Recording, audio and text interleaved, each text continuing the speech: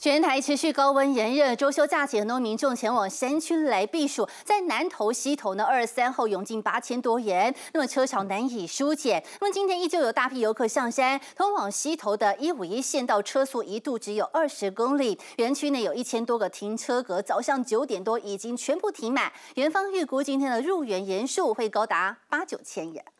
西头园区入口处一整排车辆看不到尽头，早上九点半不到，园区内一千五百个停车格已经全数停满。你们讲我我等下停车位等好久啊？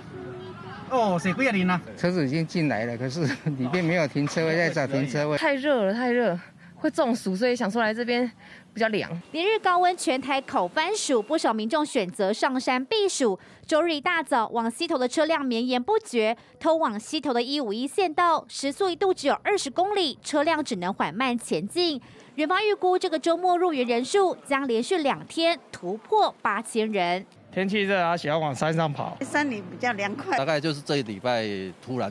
大增，昨天周六西头的入园人次大约九千多人，哦，那预估今天周周日应该也差不多。不止西头涌入大批人潮，南头草屯的鸟类主题动物园二十四号开放试营运，部分县市民众入场免门票，园方十点才开放入园，不过九点多就有数百人惜家带眷，顶着艳阳在外等候。没有了。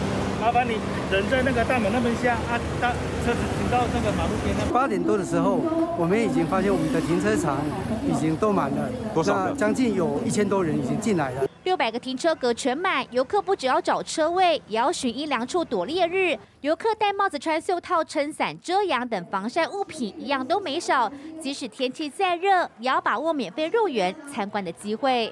记者柯吉高威少与黄敬轩 S N 超组南投报道。